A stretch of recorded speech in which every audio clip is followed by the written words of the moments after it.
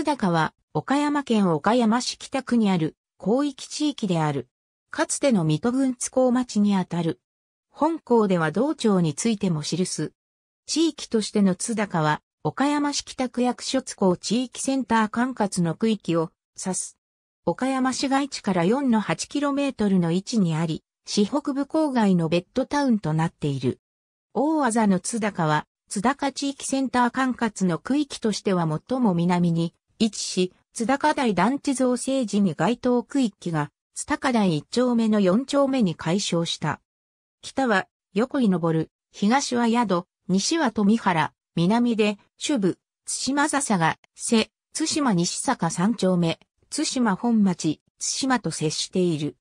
地域内には、岡山空港と山陽自動車道、岡山インターチェンジがあり、岡山の空と陸の玄関口となっている。産業では、1875年に、大森熊太郎と山内義雄が、階段の管理の払い下げを受けて始めた温室ブドウ栽培が盛んであり、現在では岡山県が全国生産量で約95%のシェアを誇るマスカットオブアレキサンドリアの主要生産地となっている。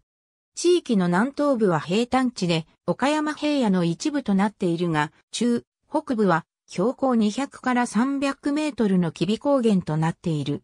河川は笹ヶ瀬川が日曜寺付近に源を発し、北から南へ東地域の中央部を寒流し小島湖へ注いでいる。津高地域は古くは大部分が備前国津高郡津高里に属した。応仁、文明の頃から松田氏が支配し、1600年には小早川秀明、1603年には池田忠次が岡山藩主に封ぜられ、以後池田氏の所領となり、明治維新に至った。1889年6月1日の町村制施行により、野谷村、馬谷城村、横井村が発足した。1953年に、これら3村の合併が検討されたが実現には至らず、1955年に野谷村と馬谷城村が合併して津高村が発足した。その後、岡山市への編入を前提として津高村と横井村との合併が協議され、1959年に津高町が発足した。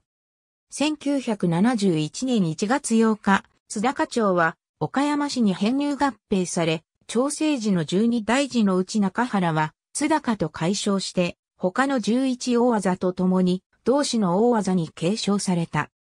ケーブルテレビ地上波テレビ放送この地域は岡山本局が置かれている金鉱山の山営にあたり良好に受信できないため岡山北中継局が設置されている。この中継局は、倉敷市中小、歌唱地区でも受信されている。